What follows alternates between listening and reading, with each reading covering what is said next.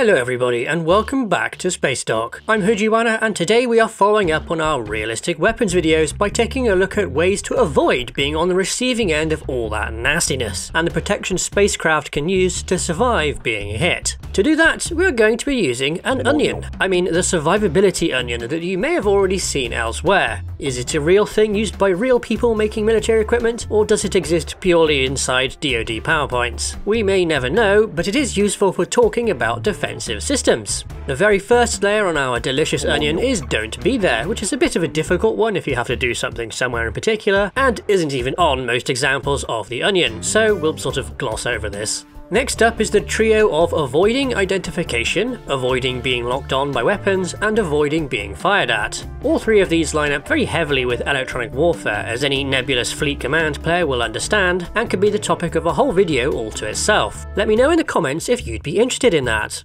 Anyway, avoiding being seen or identified can be done in a number of ways, starting with just being so far away that you're just a speck, an unknowable blob on sensors.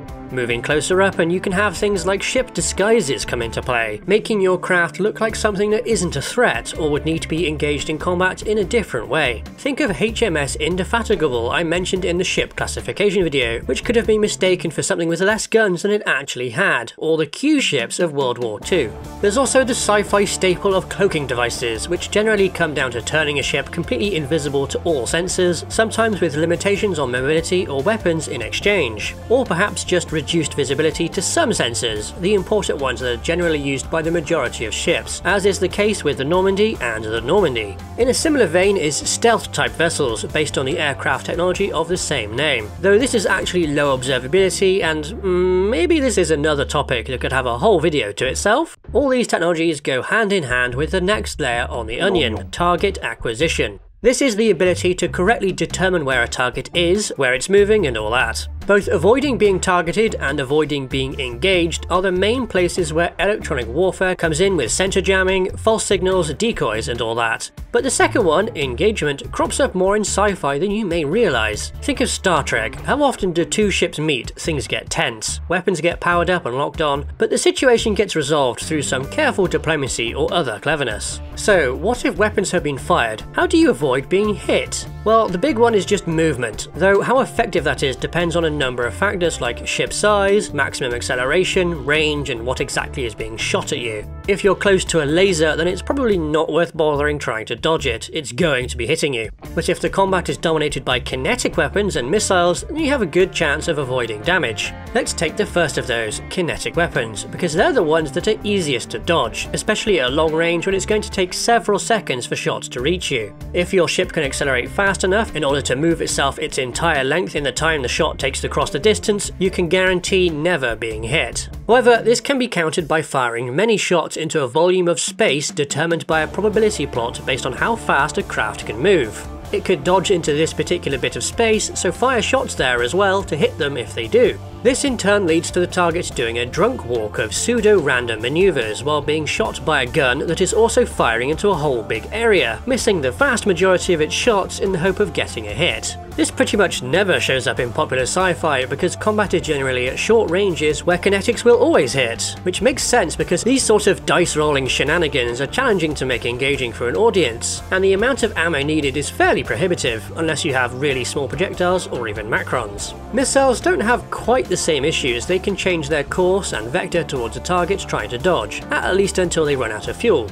So, at extreme ranges, it may be possible to try to outrun a missile, but it's a much safer bet to just shoot it down, either with point defense guns or anti-missile missiles. But then, what if the missile dodges? Well, that's less of a concern for anti-missile missiles, but for guns we're back to the same drunk walk shenanigans. But at least here if the missile dodges too much, it'll burn out its propellant supplies and won't hit anything. Again, that takes a lot of ammo, but at least it works out more favourably for the defenders, especially if you throw in special timed fuse ammunition, which is designed to detonate near or in front of a missile to saturate the space around it with projectiles. Or even do what Galactica does with flak shells, which is a similar concept but designed to blanket the Battlestar itself, since they they can't rely on higher tech firing solutions. Sci-fi has another very common method of preventing craft from taking hits, shields. These can take many forms. Sometimes they cover the entire ship, sometimes they're directional. They can be big bubbles or a thin layer over the vessel's skin, or various combinations of all these things. However, it's very common for hits on shields to still cause knock-on issues to the craft they're meant to be protecting. These range from shaking it about to overloading shield systems and things of that nature, which means that sometimes they can blend into the next layer of the onion, preventing a hit from penetrating the ship.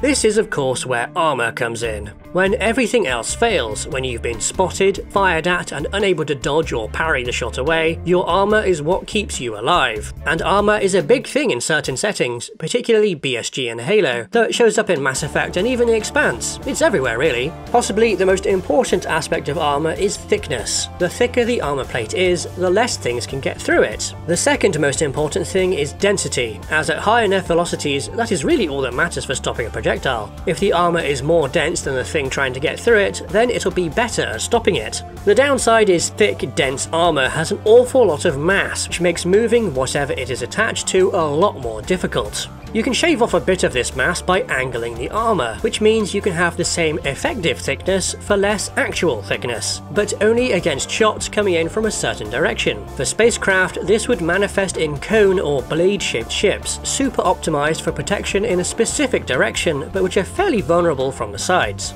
Another potential way of saving some mass is by using Whipple shields, which are a series of thin plates separated by gaps, designed to first break up an incoming piece of debris and then stop the high velocity fragments that are created on impact. But I'm not sure these would be very effective versus long rod penetrators, which are rounds explicitly designed to punch through armour by boring their way through it. All these are great for purely kinetic hits, but what about lasers, particle beams, or other more exotic things that often show up in sci-fi? Well, I did provide some ways of protecting against those in the videos on those weapon types, but what if there's a mix of weapons in use? Well, then you have to make a mix of armor types. Whatever armor a ship has would generally be made up of various layers with each intended to work against a particular type of weapon, and the innermost layers should be something that prevents spall, which is shards of material thrown off by internal shockwaves within the armor plate itself. Just remember, this is the second to last level of protection in the Onion. Oh, it's perfectly viable to have less armor and focus more on the previous layers to avoid being hit in the first place.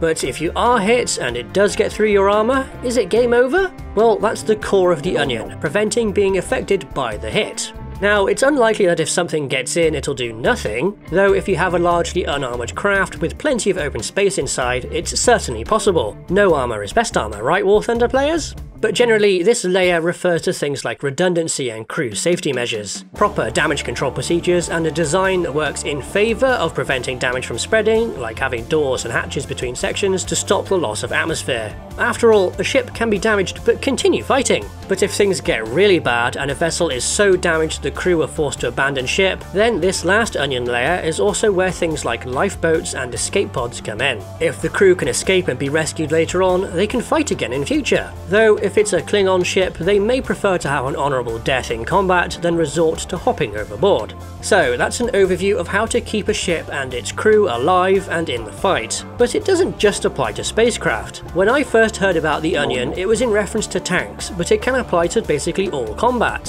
Think about how it applies to your favourite spaceship, about how different settings pick and choose parts of it to tell their stories, and how you can use it for your own designs. How do we dice an onion? Big onion. Look at that. Woo! To the good onion. Good onion is a heavy onion. Is a six pound onion. It's also an onion where the onion is put. This is the tip of the onion of the onion. The onion is not the knife around the onion. Remove the pepper skin of the onion. Dice an onion, it's an onion cut the onion in half on the onion, It's an onion. Then the onion, the onion with onion, onion, onion right here, onion, onion, the onion. You can support Spacedock by joining our Patreon where you can get our Space Fighter design reference book. Alternatively, you can support us directly through YouTube by giving us super thanks or by becoming a channel member. Thanks to our supporters and thank you for watching.